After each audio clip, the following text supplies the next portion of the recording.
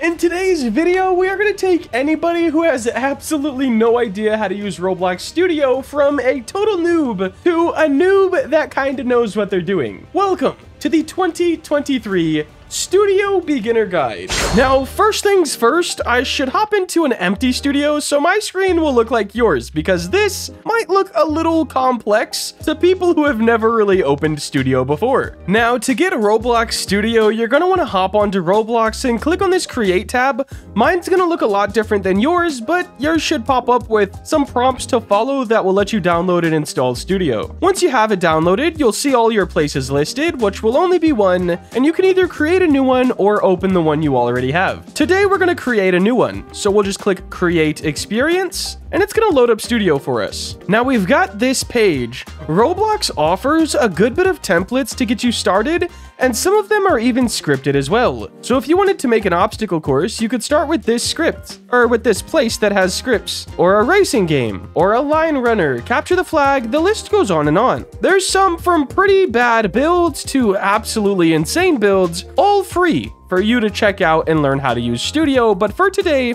we're to keep it basic and go with the base plate. Now, a base plate on Roblox is basically just your floor. Like, this whole gray block is a base plate. And before we do absolutely anything in Studio, the first thing you have to do is save to Roblox. If you don't save it right when you get in, you're risking quite a bit. Let's say you work for multiple hours and then it crashes, or your computer restarts, or for any reason this studio window closes, you lose everything. So first things first, make sure to save to Roblox. It would be nice to give it a name. We're gonna say Tuts, just so we don't lose it. And then here we can select the creators, whether that's gonna be me or any of the groups I'm in. Then we can select a genre. I don't think there's really many points to selecting a genre. I would just keep all. And guys, this here, Team Create. Make sure it's checked on. This will autosave your project as you're working on it. So you don't have to worry about if you forget publishing it or something. It's going to go ahead and restart Studio a little bit and load us into the one that is saved to Roblox. Now that we're in the studio that is saved to Roblox, you'll see an Asset Manager tab has appeared, and this is how your studio is going to look. We can pretty much break up Studio into five parts. You have your viewport, which is right here. You have your Asset Manager. You've got what I'll call the toolbar, your Explorer, and your properties. These will be the parts of today's video. Now, Studio's having a weird issue right now where I can't move around. As you can see, my mouse is just glitching out. So I'm gonna have to go into one that might have some stuff in it because Roblox might be down at this time. I can move stuff around and I can look around with WASD, but when it comes to turning my camera, it's just not working. So we'll go into one of the projects I'm currently working on and just kind of fly over to the side. All right, here's our, our new base plate, guys. I just kind of put a part on the ground. So first things first, let's get into this toolbar on the top. We're on the home page here, and this is pretty much every single one of these, but their most important parts. For example, we have all of our tools to move, rotate, scale, etc., and our part spawning, but we also have those in model, where we can get more in-depth on each of these things. For today, we're just going to focus on this home tab. Now, the first thing you're probably going to know how to do in Studio is move around, so you can use WASD to fly in whatever direction, just like you're playing a game on your computer. And then you can use your right mouse click to look around with your camera, and your scroll wheel to sort of zoom in or zoom around faster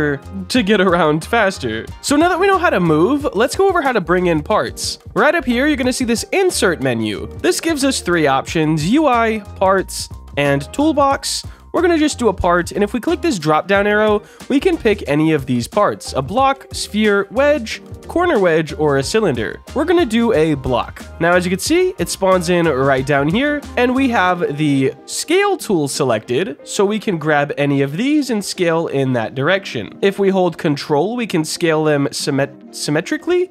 I don't think that's the right word, but holding control and grabbing any side does both sides. Very nice tip to have. And then we have our selection tool, which just lets you select a part and then move it around wherever you want. Our move tool is pretty much the same as the selection tool, except now we can snap onto axes, X, Y, and Z. You can also click in the middle and use it just like the selection tool. We already went through scale and then rotate, which just lets you rotate along each set of axes. If you want to change the distance you're rotating per click or how far you're moving it per slide, I guess, you can go to this model tab and change these values here. The rest of this toolbar is barely ever used, the material manager is the way to select your materials. You can go through, just find whatever you like, and while we're clicking on this part, let's say we want it neon, we just click this little uh, mouse with a circle here. And now our part's neon. We can press Ctrl Z to undo literally anything, and we could change it to whatever we want. Let's put it to fabric, since I made a video about how bad fabric is.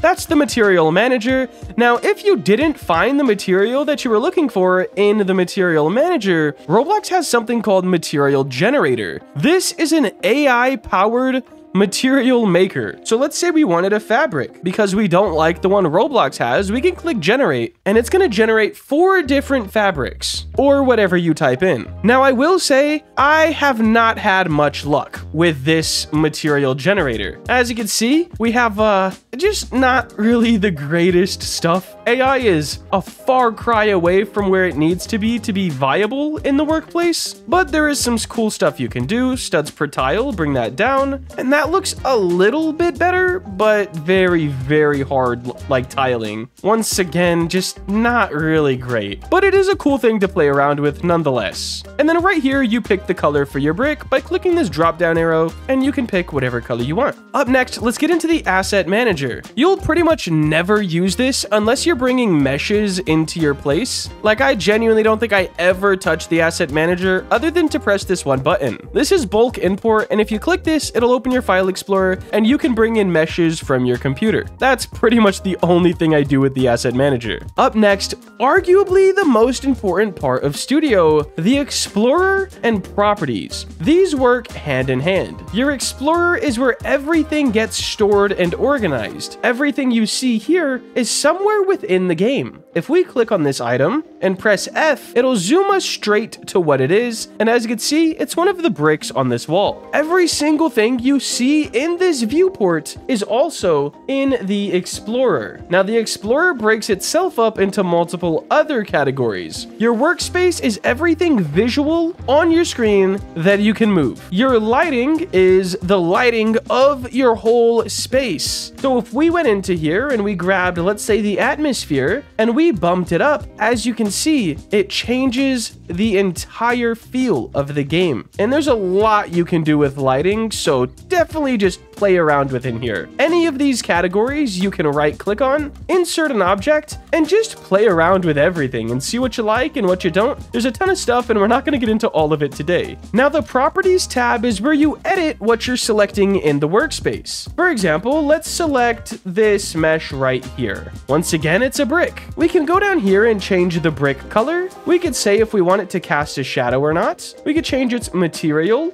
Double-sided is for meshes. If you have flipped normals, you can mark double-sided as an easy fix, but it could be a bit intensive on your game, so I would just go back into Blender and fix it. And there's so much other stuff. We can adjust its reflectance, its texture, its transparency, and so, so much more, guys. Properties is just how you affect stuff that's in the Explorer. I'm pretty sure that's all of the super basics about Roblox Studio. I will go into one more thing because it is kind of nice to know and a lot of people don't really understand it. It's called unions. Now, unions might have the hottest take on Roblox. Some people love them and say they don't affect your game's performance. Other people say they're horrible and they should never be used ever. I haven't done enough testing to know for sure which side of the fence I'm on, but I kind of tend to stick with the people who say don't use them. But once again, I haven't really done my own testing, so I can't be on either side of the fence fully. Anyways, think of unions as a way to make a mesh if you don't know how to use Blender. So for example, we're gonna make a couch. If we grab these two parts and we click on this one right here and then click negate, this is going to turn